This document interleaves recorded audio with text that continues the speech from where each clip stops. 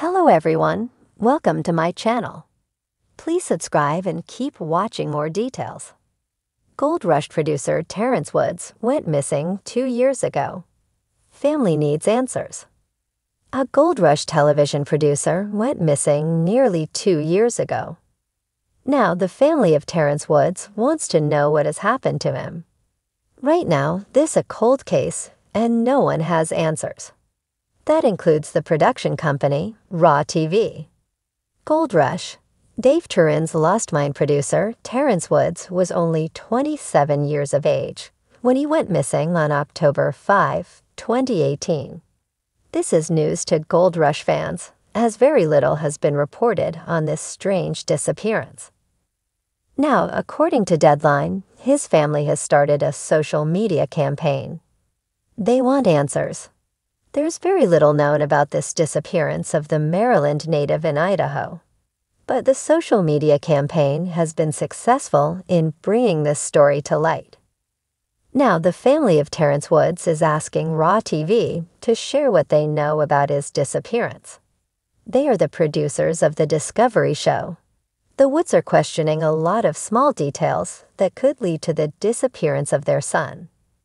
For one thing, there seemed to be animosity with how Terrence was treated during shooting. Raw TV denies this. Yet they are looking at the emails between Terrence and others at Raw TV. Although there are strong denials from Raw TV, the family still suspects that they are holding back information. Terrence Woods had a promising career. He was considered upbeat and very passionate about television. Prior to 2018, he spent five years in the UK working for Raw TV. His last job was researching. Then he got a prime gig. He was going to work on a new Gold Rush spinoff, Dave Turin's Mine. They were filming for the first season of the show, so he moved back to his dad's place in Maryland and headed over to Idaho, where he was to film at an abandoned gold mine called Penman Mine.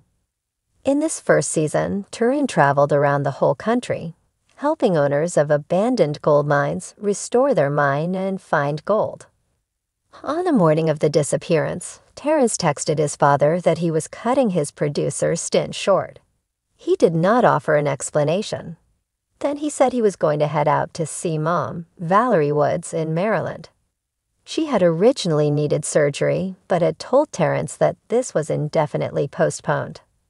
At the set, Terrence Woods shocked his gold rush producing team. He dumped off his radio and ran down a steep cliff into a thick forest. No one saw him again. The sheriff's office and everyone on set searched for him, but there were no clues. Just two witnesses who saw him running. One was a local woman, the other Simon G., who was an associate producer. Wood's father is quite skeptical about this information. He has questions, but no answers. This area is rough, with a lot of mines. But the lack of clues has the family very suspicious. They want answers.